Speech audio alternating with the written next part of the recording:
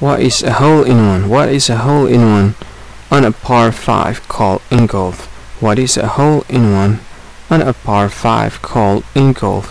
Now I'll give you a list of the option and here's a list of the option. First option is condor. The second option is vulture. Third option is eagle and the last option is hummingbird. So what do you think? Which one is the correct answer for the question? Well, the correct answer for the question is condor. So that's the answer for the question. Condor.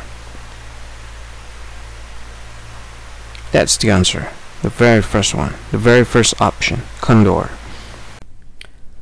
Hi, thank you so much for watching this video. If you find this video is very useful, you need to help this channel to grow by subscribing this channel. Click this subscribe button and don't forget to like this video. And if you want to share this video with your friend to any social media that you wish, just go ahead, click this button. You can share it to Facebook, Twitter, and etc. etc. I think that's all of it. Thank you so much.